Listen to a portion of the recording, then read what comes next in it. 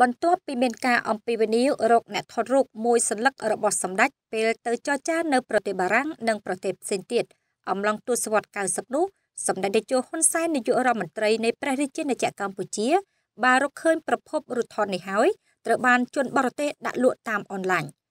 ការបញ្ជាក់របស់សម្ដេចតេជោបានធ្វើឡើងបន្ទាប់ពីលោកឆៃសុផលអ្នកស្រាវព័ត៌មានជើងចាស់បានចូលខមមិនរាយការណ៍ជូនសម្ដេចតាមបណ្ដាញសង្គម Facebook ដោយជួយបញ្ជាក់អំពីប្រភពនៃរូបថតនេះដែលត្រូវបានដាក់លក់ដោយជនបរទេសជាការឆ្លើយតបនឹងខមមិនរបស់លោកឆៃសុផលសម្ដេចតេជោហ៊ុនសែនបានថ្លែងអំណរគុណដល់លោកបានស្វែងរកឃើញប្រភពរូបថតនេះសម្ដេចបានបញ្ជាក់ទៀតថាពេលនេះរូបថតខ្ញុំដល់កម្រិតជនបរទេសយកទៅដាក់លក់តាមអនឡាញនៅក្រៅប្រទេសហើយតាមស្មាននៅមានរូបថតច្រើនទៀតដែលជនបរទេសថតហើយអាចនឹងដាក់លក់សូមជួយស្វែងរកទិញ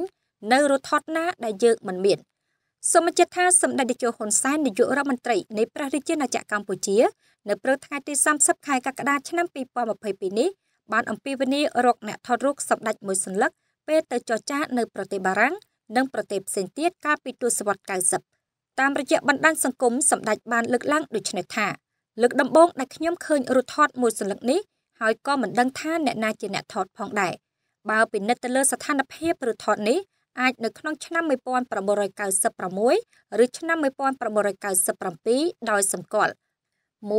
អ្នកការពារខ្ញុំឈ្មោះវឿនបានមកការពារខ្ញុំក្នុងចន្លោះឆ្នាំ1986រហូតដល់គាត់ស្លាប់ប្រហែល10ឆ្នាំមុនគាត់បានការពារខ្ញុំទៅចរចានៅប្រទេសបារាំងនិងប្រទេសផ្សេងទៀតជាច្រើន2កូនប្រុសខ្ញុំហ៊ុនម៉ាណីទើបមានវ័យជំទង់អាយុប្រហែល14ឬ15ឆ្នាំ ម៉ាណីកាត់ខែវិច្ឆិកាឆ្នាំ1982បើការលើកឡើងនេះត្រឹមត្រូវពេលនោះខ្ញុំទើបមានអាយុ44ឬក៏45ឆ្នាំ